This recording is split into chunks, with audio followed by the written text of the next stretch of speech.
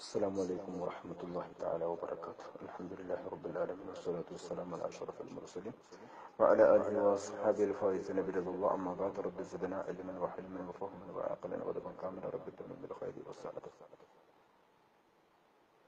നമ്മുടെ തങ്ങൾ ഒരു ക്വസ്റ്റ്യൻ ഇതിൽ ഉന്നയിച്ചിട്ടുണ്ടായിരുന്നു മക്കയിൽ താമസിക്കുന്ന ഒരാള് അദ്ദേഹത്തിന് ഹജ്ജിന് പോകണം പക്ഷെ ഗവൺമെന്റിന്റെ ആ നിയമത്തിൽ നിന്നും പുറത്തായിട്ടാണ് ഉള്ളത്. അപ്പോൾ അതിനെ പാലിക്കാതെ പോയാൽ ആ ഹജ്ജ് സ്വീകാര്യമാകുമോ എന്നതാണ്. വളരെ ശ്രദ്ധിക്കേണ്ടുന്ന ആലോചിക്കേണ്ടുന്ന ഉത്തരവാദിത്തപ്പെട്ട ഒരു സ്വാൽ.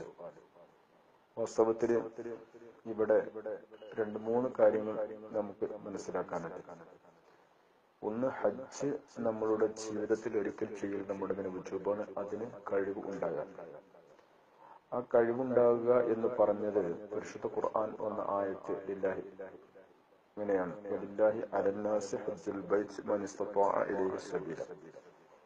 അള്ളാഹ്ക്ക് വേണ്ടി ഇഖ്ലാസോട് കൂടെ ഉള്ള ഹജ്ജ് അത് മൻ ഇസ്തത്വാഅ ഇലൈഹി സബീല. ചതിയാലും വഴിയാലും മുതലാലും ഒക്കെ ഉള്ള കഴിവ് വേണമെന്നാണ്. അതോടൊപ്പം വഴി അന്നുള്ളതും ആയിരിക്കണം എന്നാണ്. അപ്പോൾ ഇവിടെ വരുന്ന ഒരു പ്രശ്നം. ഗവൺമെന്റിന്റെ നിയമത്തെ ലംഘിക്കുമ്പോൾ ലീഗലും ഇല്ലീഗലും ആയിട്ടുള്ള രണ്ട് വിഷയങ്ങളുണ്ട്. അപ്പൊ ലീഗലായിട്ട് മാത്രമേ നമുക്ക് കാര്യങ്ങൾ ചെയ്യാൻ പറ്റൂ എന്ന് തന്നെ ശരീരത്തിൽ ഇസ്ലാമിന്റെ നമ്മളോടുള്ള നിർദ്ദേശമാണ്. അതായത് ഗുലാത്തുൽ അമ്ര കാര്യകർത്താക്കളുടെ ഭരണാധികാരികളുടെ രാജ്യത്തിന്റെ നിയമം പാലിക്കാൻ നമ്മൾ ഉത്തരവാദിത്തപ്പെട്ടവരാണ്. അത് പാലിക്കുമ്പോഴാണ് നമ്മൾ ഒരു വിശ്വാസിയായി തീരുന്നത് അപ്പോൾ അതിൽ നിന്ന് പുറത്താകുമ്പോൾ ഇവിടെ നമ്മുടെ വഴി അന്ന് ഉണ്ടായിരിക്കുക എന്ന് പറഞ്ഞതിൽ പരിപൂർണമാകുന്നില്ല. ഇങ്ങനെ പോകുമ്പോൾ. കാരണം നമ്മൾ പിടിക്കപ്പെടുകയോ പരിശോധിക്കപ്പെടുകയോ ചെയ്യുമ്പോൾ നമ്മൾ പിന്നെ ആ അമൽ പൂർത്തിയാക്കാൻ കഴിയാതെ വരികയാണ്. അപ്പോൾ നമ്മൾ തുടങ്ങി വെച്ചുന്ന അമലിൽ ഒരു ഒരു ന്യൂനത അവിടെ വന്നിട്ടുണ്ട്. ആ അടിസ്ഥാനത്തിൽ ആ നിയമങ്ങൾ പാലിക്കപ്പെട്ടുകൊണ്ട് മാത്രമാണ് രണ്ടെണ്ണം. ഒന്ന് ഊരാത്തുൽ നമ്പറിന് നിങ്ങൾ വഴിപ്പെടണം. അള്ളാഹുക്കും റസൂലിന് വഴിപ്പെടണം എന്ന് പറഞ്ഞിട്ട് പിന്നെ ഹദീസിന്റെ ബാക്കി ഭാഗങ്ങൾ പഠിപ്പിച്ചത് കാര്യകർത്താക്കളായ ഭരണാധികാരികൾ അതായത് രാജ്യത്തിന്റെ നിയമവ്യവസ്ഥയെ നാം മാനിക്കണമെന്നാണ്. അപ്പോ ലീഗലായിട്ടല്ലാതെ ലീഗലായിട്ട് ഒരു കാര്യവും ചെയ്യാൻ നമുക്ക് ഷെറിന്റെ ഭാഗത്തു നിന്ന് അനുവാദം കിട്ടിയിട്ടില്ല. എന്ന നിലക്കും എന്ന ആയത്തിന്റെ വ്യാഖ്യാനവും ഫുഖഹാന്റെ വിശദീകരണവും ഫത്തുഹൽ ആനത്ത് താലിബിയും മുതൽ ഗ്രന്ഥങ്ങളിലും ഒക്കെ എല്ലാ നിലക്കും ജാമ്യമാന്യമായിട്ടുള്ള ആ ഒരു കഴിവും ആ ഒരു വഴി ഒരുക്കവും വേണം എന്നതാണ്. അപ്പൊ അതിൽ ഇങ്ങനെയുള്ള ഒരു വഴി നമുക്ക് ശരിയല്ല എന്നതിന്റെ പേരിൽ നമ്മൾ അതിലേക്ക് തുടങ്ങി വെക്ക് നമുക്ക് അനുവദനീയമല്ല എന്ന് ഓർക്കണം. കാരണം അതിന്റെ വഴി ക്ലിയർ അല്ലാത്തതിന്റെ പേരിൽ തന്നെ നമുക്ക് അന്ന് ത്വരീക്ക് ഇവിടെ വരുന്നില്ല ഇടയ്ക്ക് പിടിക്കപ്പെടുകയോ മറ്റോ ആണെങ്കിൽ നമ്മൾ ഒരു വഴി എന്നത് ഉറപ്പാണ്. അപ്പോൾ ആ വഴി ശരിയല്ല. അപ്പോൾ ഷർത്ത് ഒന്ന് ഇല്ലാതെ വന്നു. അപ്പൊ ഷർത്ത് ഒന്ന് ഇല്ലാതെ വന്നതിന്റെ പേരിൽ അത് ശരിയല്ല എന്ന് മനസ്സിലാക്കണം. ഇനി ആരോ ഒരാൾ ഇങ്ങനെ ഒരു കാര്യത്തിന് പുറപ്പെട്ടു. അവർ അമൽ ചെയ്തു ഹജ്ജ് കഴിയുകയും ചെയ്തു.